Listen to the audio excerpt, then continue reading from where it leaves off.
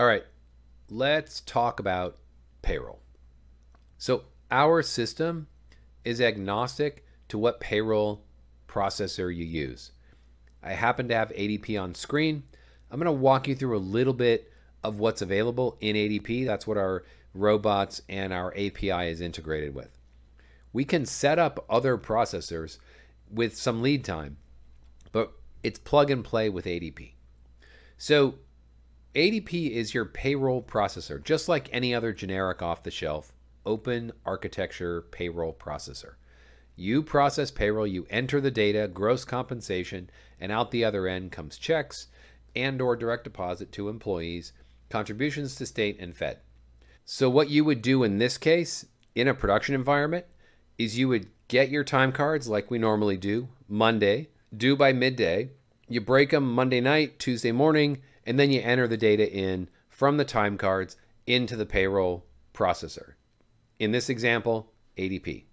You go to payroll dashboard, you get a worksheet. This worksheet happens to be for IA and full crew. You key in regular time, OT, gold at 2x, gold at 2.5, meal penalties, mileage, box car, whatever else. You insert your employees. You key in their regular time, their overtime, their gold time, making sure that the total compensation, the regular earnings, gets calculated for the employee that you inserted into the table. When you're done, you send it into an approval cycle. Once it gets approved, you then send it into a completion cycle where ADP at night will withdraw the funds overnight out of your operating payroll account, take those funds and distribute it to direct deposit, checks, or state and fed wherever it belongs. Typically, if we get it in by 6, 7 o'clock at night on a Tuesday, by Wednesday morning, we'll have checks on a desk. ADP has distribution points all over the country. Depending on where you ask them to send checks, they're going to send you either a stub in the case of direct deposits, or they're going to send you a physical check in the case where you're printing a check for an employee. We also use the HR dashboard. The HR dashboard is where you see all the employees that have been onboarded from the FAST platform. The FAST platform allows whoever's doing the onboarding to key in the person's name, their phone number, the job, their start date, whether they're an individual or a loan. Once that happens on our FAST platform, the API then reaches into the HR dashboard and initiates the process of adding that person to the active list of employees. When that's done, it gives the employee the ability to key in their address, their social security number, all the data points they need to be live within the show, just like you would fill out on a start card. They complete an I 9, a W 4.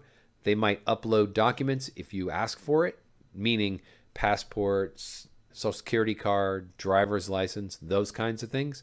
And then you can have them also fill out and sign crew deal memo or whatever number of documents you're asking an employee to complete for you. So that's the process in the HR dashboard. It tells you what's going on in the current status of your new hires.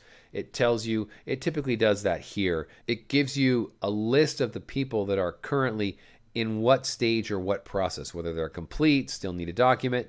It's flexible. It allows you to go in and add documents. You can have the employee do it, or you can do it if you want. We have the employee do it. They're all adults. They enter in their information as far as their address, where they want documents sent. They enter in their banking details if they want those details to hit for their direct deposit. So that's the HR dashboard. So essentially, ADP is the place where you process payroll. Once you're finished with that processing of payroll, we have to get this information out of ADP and into our accounting software. We do that with the GL interface. The GL interface gives us the ability to create the GL file. That file essentially exports all the payroll data that we need that can be used to interface with our accounting system as well as with our fringe engine. What it does in the fringe engine is it picks up our gross compensation, days worked, hours worked, all the whatever the whatever metric is used to make contributions to SAG, WGA, DGA, and then IA, that information is lifted out of your GL file and is used to generate the reports that get delivered to the guilds and unions. That begins inside ADP's GL module so that we then take that interface file, we create the GL file, we export it, and then we upload it into the places where it belongs. And that's pretty much it. It's all about processing payroll in the payroll dashboard, using the HR dashboard for onboarding, and then when we're finished, after we've processed payroll, we then want to go into the reports dashboard and then get our GL interface. All of this happens by ADP. No deposits. It's simple, it's flexible, it's not rigid, and it's built for you, designed around the process you're interested in executing for your crew, not somebody else's bottom line and not somebody else's process. It's your data, they're your employees, you control it. That's essentially it. This is an example of a client who we're currently working with in this system. It's up here, it's been blurred out just because we don't want that information out in the wild. I don't want it out on YouTube for people to see. But generally speaking, you're using a generic third party for processing your payroll, making sure that the contributions are made to the state and the Fed and the individual correctly, and that's done within ADP.